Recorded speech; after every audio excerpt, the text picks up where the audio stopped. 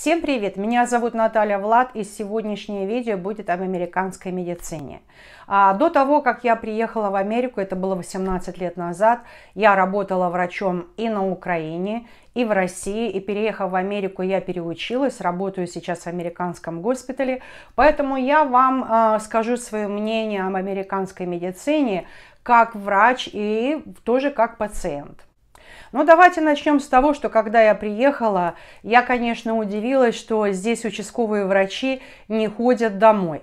Если раньше я своего трехлетнего ребенка могла а, в России при, позвонить участковому врачу, и в этот же день участковый врач приходит и осматривает вашего ребенка с температурой дома, здесь такой услуги нет.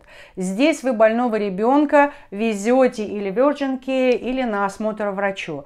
Здесь такого понятия, как эм, вызов участкового врача на дом не существует. Э, здесь, если вы приболели, то у вас два варианта. Либо вы вызываете скорую помощь, если вам совсем плохо, или вы едете на прием к врачу сами. Никто домой к вам не приходит. Другой интересный момент – Здесь э, все препараты, такие как антибиотики, все препараты для гипертонии, а, для повышенного холестерола, все это только по рецепту. А, насколько я помню, раньше я могла пойти, зайти в аптеку, там, где я жила, и купить спокойно антибиотик, какой я хотела, или еще какие-то другие препараты. Здесь единственное, что вы можете свободно купить в аптеке, это любые препараты для простуды, а, там капли в глаза, если у вас э, спина болит, там какие-то мази. То есть самое такое совершенно простое, а, обычный тайленол, обычный ибупрофен, то есть противовоспалительные препараты. Все остальное только по рецепту. Здесь очень отлажена электронная система и практически, ну, больше чем 90% рецептов отправляются в аптеку. Но все зависит от самого пациента, как пациент сам предпочитает. А многие пациенты, большинство из них предпочитают, чтобы препараты отправлялись напрямую в аптеку, то есть врач прямо из офиса или это если в госпитале при выписке вам нужны препараты, врач отправляет все эти рецепты в электронном виде в аптеку и к тому времени, как вы уже приехали в аптеку, все эти препараты готовы. Уже аптека, как правило, связывается с вашей страховой компанией.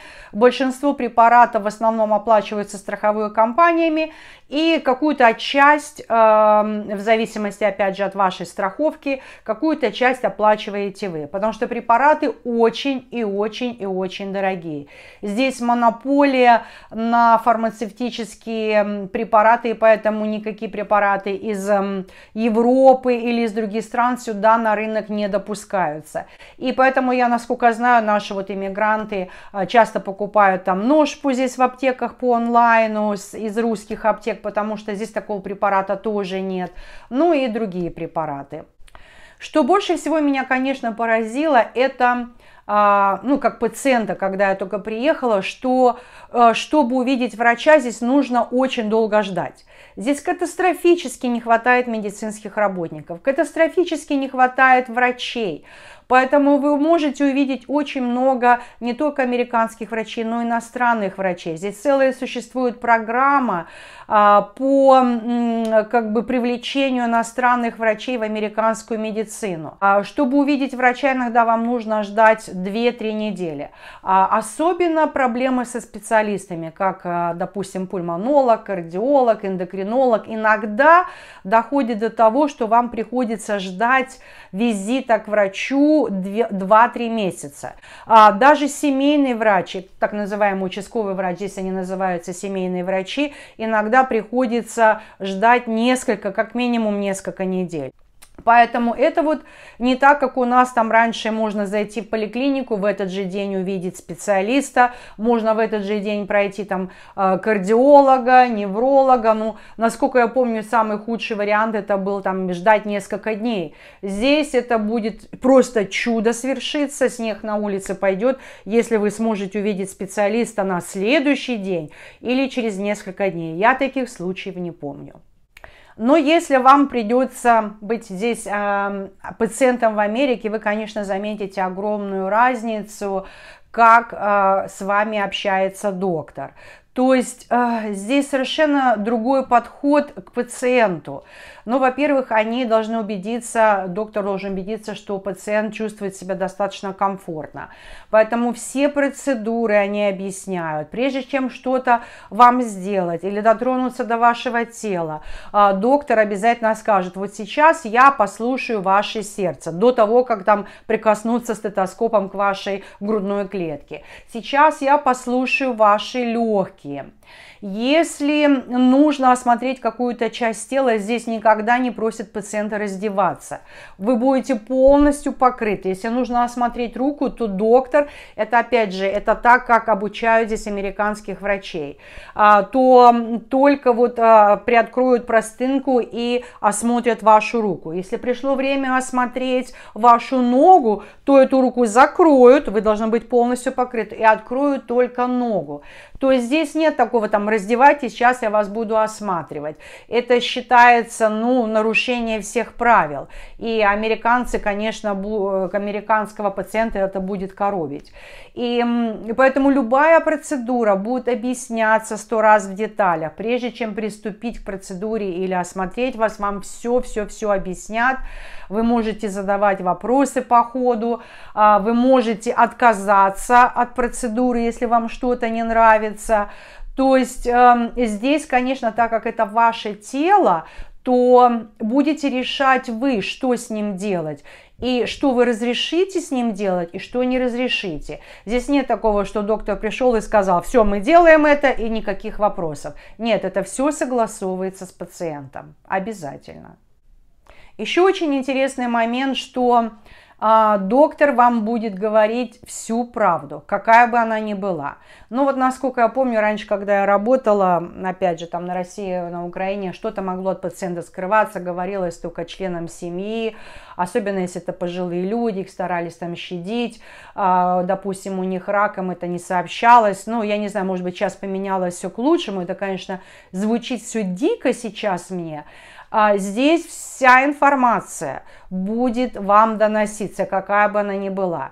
Здесь эм, провайдеры или как бы врачи, они э, достаточно открыты с вами. Если э, какие-то произошли ошибки во время процедуры или какие-то ну, побочные осложнения, или какие-то, я не знаю, э, совершенно неожиданные во время операции, допустим, произошло э, случайное надрезание или какое-то осложнение, а, врач обязательно после операции вам все это чисто скажет. Скажет, да, произошла такая ошибка, мы случайно там а, надрезали, я не знаю, там мышцу или еще что-то, но мы эту проблему решили во время операции. То есть вам какие-то врачебные ошибки, какие-то осложнения никогда не будут утаивать устраивается.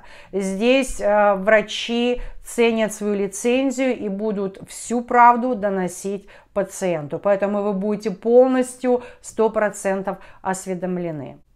Если вам что-то положено по вашей страховке, вам ничего здесь выбивать не надо. Не нужно ходить по поликлиникам и клянчить, мне нужно это. Не нужно своего доктора упрашивать, пропишите мне, пожалуйста, или дайте мне там инвалидное кресло, или дайте мне какой-то там дыхательный аппарат, который мне положен. А, здесь, если вам положено, и если это включено в вашу медицинскую страховку, вы все это получите. Здесь ничего не нужно выбивать, ничего не нужно выпрашивать и по кругу ходить и умолять вам это дать. Потому что, опять же, если вам положено, вы все это получите. Потом здесь обязательное такое, ну не то что правило, это должно вообще как бы в медицине существовать. Врач никогда не осуждает здесь пациента. Вы можете быть алкоголиком, а, вы можете быть наркоманом, а, вы можете там спать с 50 партнерами, но я опять же все это утрирую. И если вы придете к врачу и все это будете говорить, здесь даже глазом не морнет врач, не будет никакого осуждения. Вам, конечно, посоветуют, что вам лучше ну, перестать столько пить, перестать употреблять употреблять наркотики, потому что это отражается на вашем здоровье. Если у вас очень много партнеров, конечно, у вас повышенный риск э, определенных заболеваний, но никакой ноточки осуждения, ни какого такого подхода, что вы тут пришли э, со своими проблемами, сами виноваты, здесь такого нет. Здесь любого пациента лечат э, и относятся к нему одинаково. Поэтому Здесь не страшно все рассказать врачу, здесь вы не будете, э, понимаете, прятаться там в уголок и ждать какого-то осуждения, к вам отнесутся как к человеку, как к пациенту и помогут вам насколько смогут. Конечно, еще один момент. Если вы, не дай бог, попали в госпиталь, здесь, конечно, условия в больницах ну, э, просто, конечно, небо и земля. Я очень надеюсь, что что-то изменилось э, за 18 лет, которые я не была там в России, на Украине, в больницах. Я не имею представления, что сейчас происходит. Но здесь у каждого пациента, независимо от его социального статуса, отдельная палата с хорошей госпитальной кроватью, со всеми условиями, с телевизором. Вот в нашем госпитале, в котором я работаю, у них даже есть определенные определенное такое меню лежит на столе, где вы, согласно вашей диете, звоните в каждой палате свой телефон. Причем по этому телефону вам могут звонить и родственники, и знакомые. То есть этот телефон связан, ну вот это как городской телефон в каждой палате. Вы можете э, э, использовать это меню позвонить по телефону в кафетерий, который вот госпитальный кафетерий, заказать, что вы хотите. То есть не то, что вам принесут, но у вас, допустим, есть диета диабетическая или кардиологическая, и там вот определенный есть выбор. И вы заказываете, что вы хотите на завтрак, что вы хотите на обед, что вы хотите на ужин, и вам человек все это вот на подносе приносит. Ну, конечно, э, такой сервис, вот э, здесь американцы к этому привыкли, считают это нормой. Для меня это, конечно, ну, сначала э, ну, конечно, все это удивляло. А для наших людей, конечно, это будут шикарные условия. Наверное, за такие же условия, там, я не знаю, в России, на Украине, наверное, приходится дополнительные деньги платить. Здесь это все, ну, вот включено в вашу страховку. Я вообще не помню, за сколько времени времени я работаю, я не знаю ни одного вот э, ни одной больницы, ни одного случая, где пациенты лежали два человека в одной палате. Это вообще как бы здесь privacy, то есть это вот ваше личное пространство, ваша личная информация, информация свято чтется, поэтому у вас будет только отдельная палата с телевизором, там, с, с собственным туалетом. Здесь нет такого, что один туалет на весь коридор. Нет, у каждого свой туалет, душ, телевизор и э, все условия разрешается наличие родственников. Я, конечно, удивилась, что американские родственники могут присутствовать 24 часа в сутки, прям лежать в этой же комнате с пациентом. У них нет своей кровати, но есть такие, знаете, как раскладные кресла, и могут дать дам подушечку, одеяло, организовать все, и вот они в этих раскладных креслах, они могут находиться там со своей женой или там со своей мамой, это разрешено, они могут там спуститься в кафе, пойти покушать, прийти, опять присутствовать присутствовать. Американцы, вот я не знаю, если кто-то попадает в больницу, а, родственники, они вот меняются. Сначала, допустим, дочка пришла, они прям там с компьютером могут работать, приходят со своими а, лэптопами. А, потом это может прийти жена, потом там, я не знаю, внук. То есть они меняют друг друга, но постоянно присутствуют с больным родственником. То же самое мамочка с ребенком. Если, не дай бог, ребенок в больнице, мама обязательно должна присутствовать. И мама будет, нет такого, что мамочка, уйдите здесь, не мешайте, мамочка, мы будем делать это то, уходите. Я вот э, помню такие моменты, когда я раньше работала Опять же, надеюсь, что все это поменялось. Пишите в комментариях, если все сейчас к лучшему в медицине в России, на Украине. Но здесь мамочка будет решать, что делать с ее ребенком, кто к, ней, э, к ребенку подойдет, кто к ребенку не подойдет, на какие процедуры она согласна, на какие процедуры она не согласна. И присутствие матери обязательно При, ни одной процедуры не будет делаться без присутствия матери. Ни одного лекарства не дастся ребенку без присутствия матери. Это, конечно, вот огромная разница. И это так и должно быть, я считаю, что если ребенок заболел, мать обязана присутствовать с ребенком, неважно, а, где он находится, на обычном медицинском отделении или в реанимации, здесь матерям разрешается присутствовать везде. Я еще раньше упоминала в э, своих предыдущих видео, что здесь нет как таковых больничных. Вот посидеть на больничном там две недельки, посидеть на больничном пять дней. Здесь э, могут вам дать как бы справку такую от врача, что вы находились э, в больнице или что вам нужно несколько дней дома посидеть, но это будет на усмотрение вашей компании, э, оплачивать вам или не оплачивать. Все зависит от того, сколько у вас там дней отпуска есть. А, то есть это не гарантия того, что как бы ваша компания вам а, это оплатит. Все будет зависеть, опять же, как вы договаривались со своей компанией, где вы работаете. Здесь я не помню такого, чтобы можно было пойти, э, там заплатить, вот как у нас там есть платные услуги в России, на Украине, ты приходишь, я хочу к эндокринологу, к профессору, заплатил и пошел. Э, я хочу посмотреть там пульмонолога, доцента, чтобы он меня осмотрел, заплатил и пошел. Здесь Такого нет. Вам нужно все равно направление от э, вашего семейного врача. Вам не обязательно платить. Вы можете заплатить, если у вас страховки нету. Но вот таких как таковых платных услуг, чтобы пойти и посмотреть какого-то доктора, вернее, чтобы вас доктор осмотрел, такого нет. Но вот моя дочка сказала, что ее, все, мне кажется, зависит от медицинской страховки. Вот ее медицинская страховка позволяет ей без направления ее семейного врача а, пойти к любому специалисту на осмотр. Но опять же, это не э, все страховые компании могут вам это предоставить. И здесь медицина настолько дорогая, что нужно обязательно иметь медицинскую страховку. Просто без медицинской страховки, ну вы никуда. Даже при наличии страховки вам все равно приходится платить какую-то часть денег. Как правило, страховка покрывает примерно там 60-80% расходов, а вот какие-то 20-40% будете платить вы, все равно в любом случае.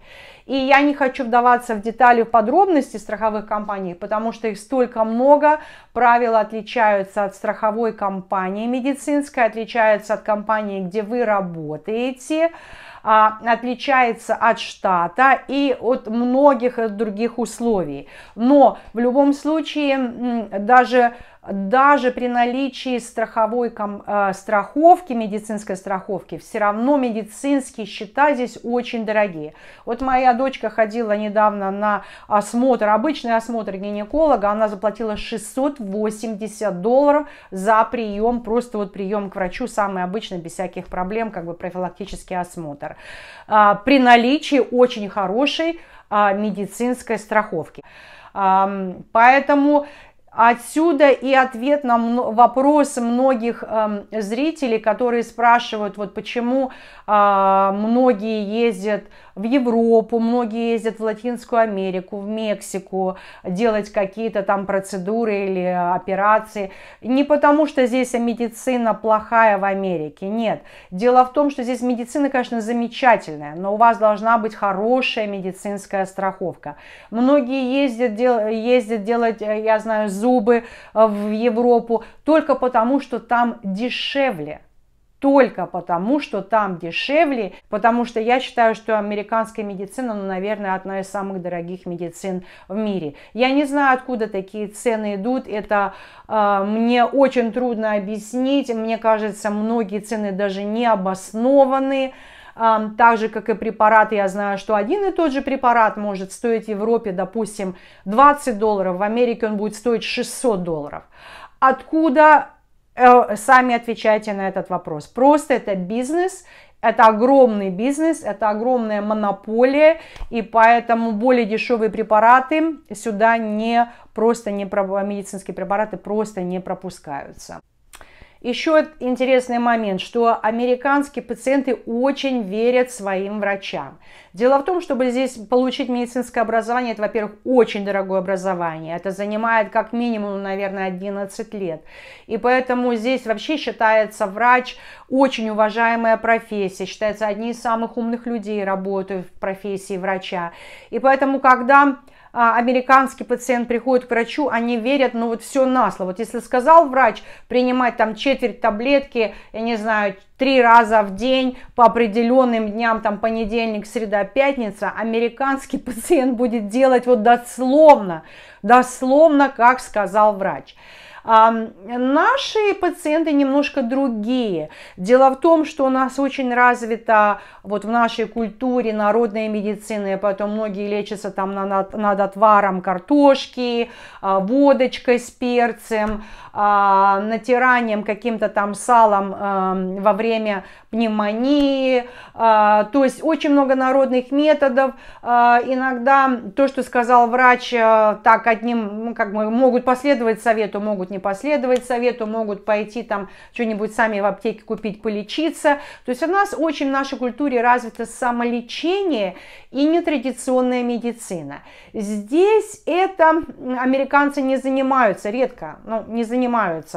Типичный американский пациент не занимается самолечением и народной медициной. И если вы будете у американского врача, не ждите никакой рекомендации, что вам нужно какие-то травки попить или вам нужно что-то такое сделать. Здесь все советы и все рекомендации обосновываются только на научно обоснованной медицине, которая прошла проверку в связи с тем, что медицина очень дорогая, и поэтому а, а здесь очень большой акцент делается на профилактику. И поэтому вы увидите, что многие американцы здесь курение вообще не приветствуется. Я работаю в больнице, не знаю ни одного сотрудника, который курит. При приеме на работу во многие компании это тоже не приветствуется. А, поэтому американцы стараются ну, не курить, я не могу сказать, что не пить, а, ходят в спортзалы, стараются там сбрасывать вес. Опять же, это речь идет об ответственных американцах. А, вы увидите в больших городах американцы там бегают с утра, а, ходят в спортзалы, не потому что они такие вот, ну, вот спортивные, да потому что они не хотят платить эти тысячи долларов на медицинские счета. Им проще сбросить вес и не платить за эти лекарства по гипертонии. Потому... Поэтому здесь это все вот одобряется, ваш здоровый образ жизни.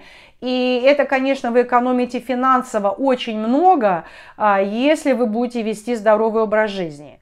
Ну а теперь давайте поговорим об американской медицине глазами врача.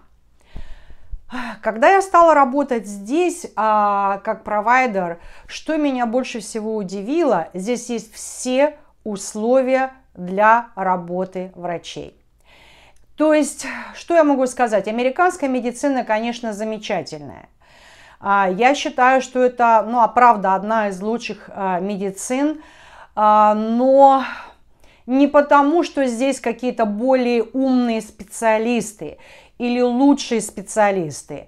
Я могу сказать, что по уровню знаний, квалификации наши врачи, наши врачи с России, Украины, с нашего постсоветского пространства ничуть не хуже.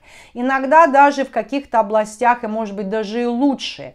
Разница только единственная в снабжении, в условиях работы и в оплате. Здесь у американского врача, если он проводит операцию, он не думает больше ни о чем, как об этой операции. То есть у него есть все необходимые инструменты, у него отлажена а, команда, у него отлажен график работы, ему созданы все условия, чтобы он провел успешную операцию.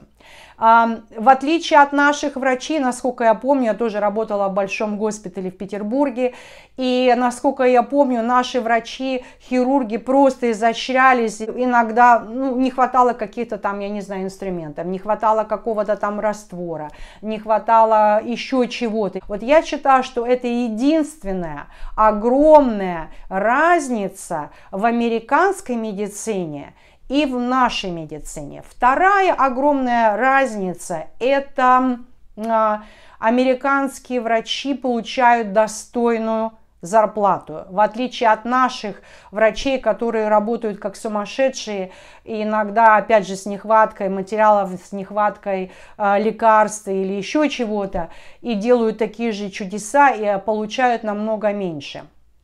Например, здесь обычный семейный врач, ну я вам примерные приведу зарплаты врачей, самые минимальные, которые получают, а там, который работает в клинике, 150 а, тысяч долларов в год. Если а, это терапевт, а, работающий в госпитале, как хоспиталист, вот как я работаю врачи, они получают где-то 250 тысяч долларов в год. Специалисты, эндокринологи, пульмонологи, тоже в зависимости, где вы работаете, сколько от 250 250 до 350 тысяч долларов в год. Хирурги могут получать около полумиллиона в долларов в год. То есть это, конечно, зарплаты совершенно ну, несравнимые. Поэтому, когда говорят, есть ли смысл ехать в Америку, там делать какую-то операцию, вы можете, мой вам совет как провайдер, вы можете такую же операцию сделать ничуть не хуже, вам сделает хирург у нас там. Нужно ли ехать лечиться в Америку? Если это какие-то совершенно обычные проблемы, я не думаю, что здесь что-то будет лучше. Единственное, что здесь будет как customer сервис, к вам будут, может быть, лучше относиться, палаты будут лучше. Но если эм, ваша страховая, у вас есть медицинская страховка, это все покрывается, почему бы нет?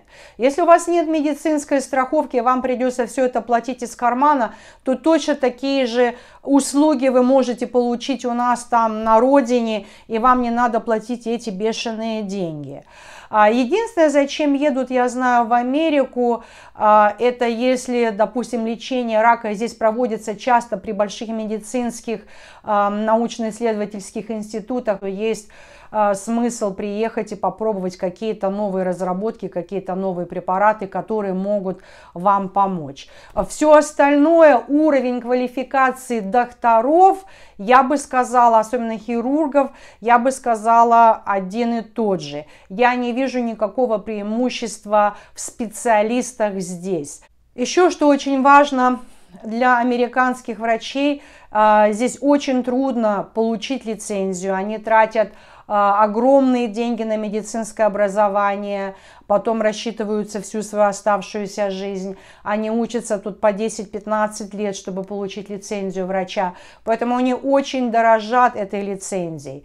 И поэтому они никогда не приступят закон, они никогда, э, у них повышенная, вот сверхповышенная ответственность перед пациентом, потому что любая ошибка врачебная может стоить им лицензии. Конечно, ехать лечиться куда-то за границу, но не будет тот уровень ответственности у врача. То есть я знаю пациентов, которые ездили в Мексику так, делать какие-то косметические процедуры, какие-то другие процедуры, и приезжали, и все эти осложнения лечились здесь, в Америке а, потому что там никто особой ответственности не несет. Здесь американский врач отвечает за все свои действия. Еще меня удивило в американской вот э, культуре существует такое понятие, как DNR-статус.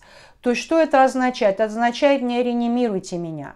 Я вообще впервые, столкнулась с этим здесь в Америке. Я ни разу, когда работала вот и на Украине, и в России, никогда такого не слышала. Не знаю вообще, существует сейчас ли такое вот в медицине там. То есть это когда пациент сам выбирает, чтобы его не реанимировали.